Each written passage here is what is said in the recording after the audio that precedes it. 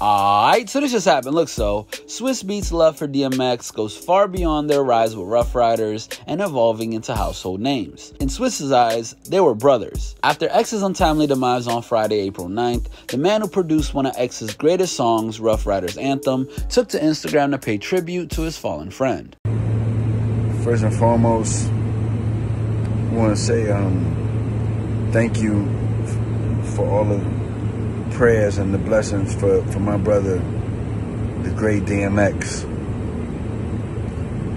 Let me tell you something, man. My brother, man, my brother was a different type of brother,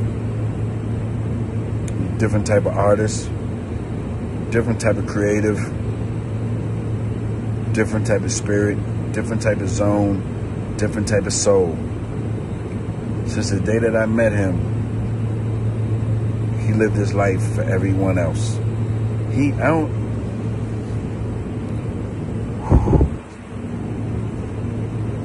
I never seen, I never seen him live his life for himself. You ain't never seen DMX with a Lamborghini. You ain't never seen my brother with a with a, with a Rolls Royce. You ain't never seen him iced out with no jury. He did not care about any of that. He was the biggest. DMX was the biggest. And let me tell you why he was the biggest. He was the biggest because he prayed for everybody else more than he did for himself. He'd get on that stage and pray for 15,000 people, knowing that he needed more prayers than everybody that he was praying for.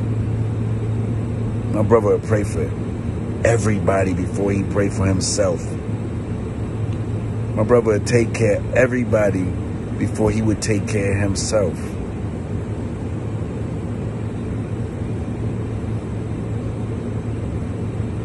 Never seen a human like him. The closest I ever seen to a prophet. They compare him to other people, but he, it's only one DMX.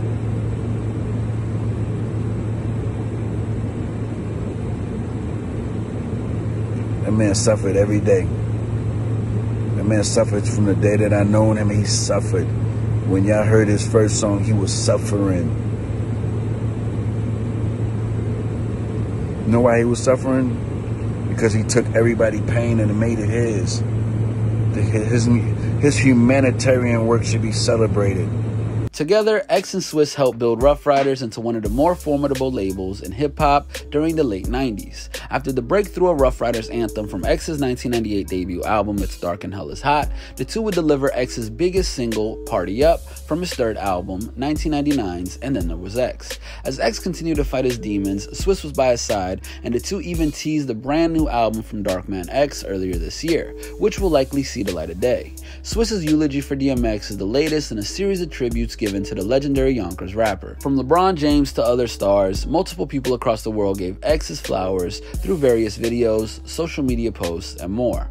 But yeah, what do you guys think? What did X mean to you? Do you remember your favorite X song, your favorite X album, your favorite X moment? Let us know your thoughts in the comment section below. Hit that subscribe button and notification bell to stay up to date on all of our new videos. And as always, make sure to keep it all the way locked to hiphopdx.com.